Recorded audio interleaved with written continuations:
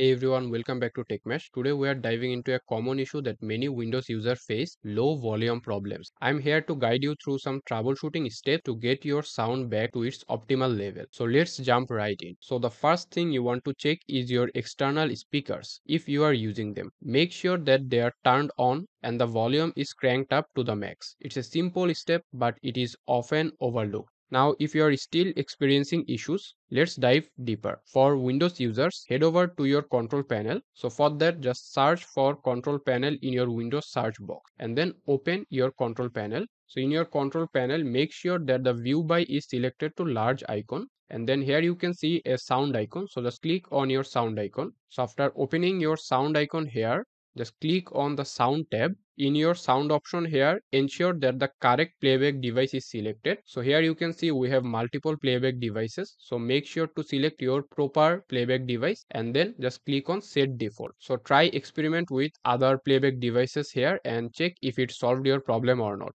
and here is a pro tip. Just click on this communication tab at the top. And then here you can see it is selected to reduce the volume of other sound by 80% so here just select do nothing and then hit apply and hit on ok. Again open your sound tab here and then here select the correct speaker and then select on properties and then click on levels. And here make sure that your speaker volume is cranked up high. Then explore advanced settings. So here just click on advanced. After clicking on advanced here you can see default format. So here you can see it is selected 16 bit 48000 hertz. So here you should see a drop down. For my case it is now grayed out. So if you can select it then here you should see multiple options. So try each of these option and see which one work for you all right after selecting all the correct format then don't forget to hit the apply button and then hit on ok after every adjustment all right? And for those of you who are using windows 10 or windows 11 we have got you covered. Simply type troubleshoot in your windows search option. So here just search for troubleshoot